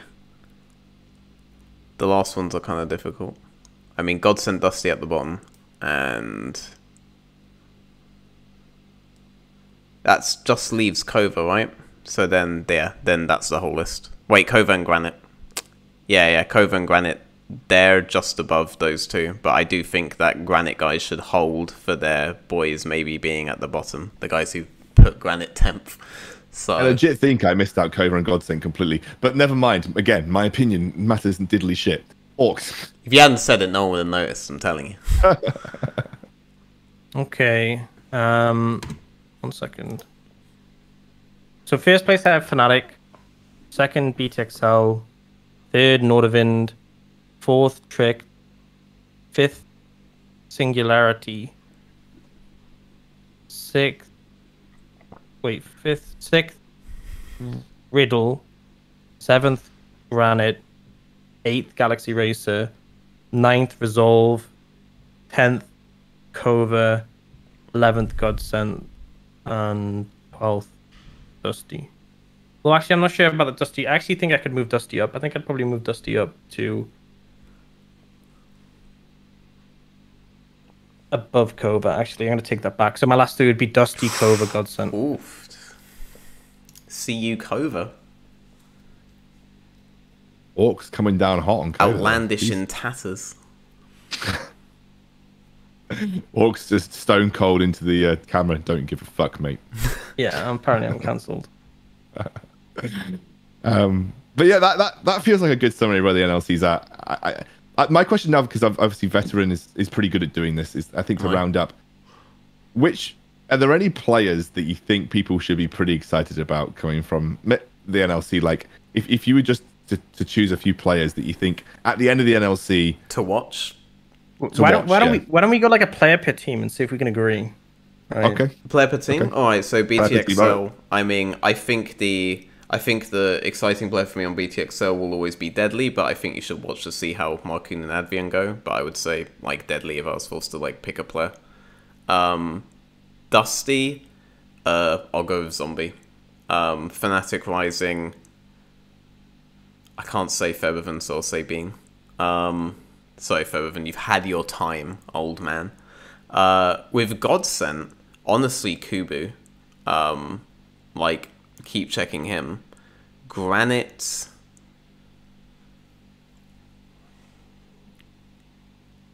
Yeah, I'll say Babel. I'll say Babel. Um, Kova, Outlandish. Galaxy Racer EU. Uh, T-Ball. Nordavind. I think Ericsson is the guy that you should uh, watch them to watch. Resolve. Soft. I, I wanted to say Achu, but Soft. Achu will be back soon. Um, with Lee Sports. It's either Kex or Gooby. I'll say Gooby, because Kex is old. I don't like old people. Um, Singularity Fury, that was the easiest one. And Tricks, I'm going to stick up for Madly again. Alright? Alright, my boy Madley is going to show everyone the future of top lane in Europe. I agreed with most of yours. Um, That just means you were BTXL wrong on some of them, so. Well, there you go. Uh, BTXL for me, I think deadly. I, I, I think if I if I'm because I think Arome's obviously already shown what he's capable of. Um, and I think most people, I think Deadly's definitely the one. Deadly's, I agree with that. I, I did want to say Arome because I think Arome's still one of the best performing players on the roster, but I think Deadly's probably the better up and comer. Dusty's or Zombie for sure. I don't think anybody on that roster apart from M Test really stood out much. Um, Fnatic Rising Bean, 100%. Maxi's kind of already had this like looking glass put onto him, whereas I don't think Bean's had that opportunity yet. Galaxy Racer, Tibor, 100%. Godsent, Kubu, or kind of torn with aesthetic again, but I've said aesthetic like three or four splits in a row for that kind of you know role. So I think I agree with you on Kubu. Granite, 100%, 100% Babro, 100% Babro. Haven't seen enough of Indecision yet. He looked pretty solid, but I, I Babro, 100%. Kova, such a difficult one. Last split, if you'd asked me, I'd have said Tiara. If you asked me last split, I would have said Tiara, but probably Outlandish. Nordavind, I'm saying Kerberos. No one can tell me otherwise. I'm saying Kerberos. uh, Resolve Soft. Riddle, uh, I'm going I'm going Gooby on Riddle. Um, Singularity Fury 100% and Tricked. I'm actually going to say Polsum. I think it's interesting how like some of them would have like three different answers, and some like you don't even have to think about. It. It's just like boom. Yeah, I was I was like the same Fnatic with Bean. Actually, for BTXL, I thought Advian because I think he's improved a lot, and I think he's doing a lot more for the team now.